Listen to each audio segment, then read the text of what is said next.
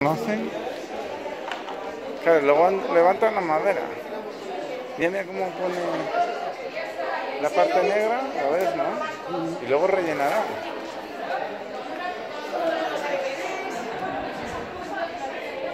Es laborioso este solar, ¿eh? Joder.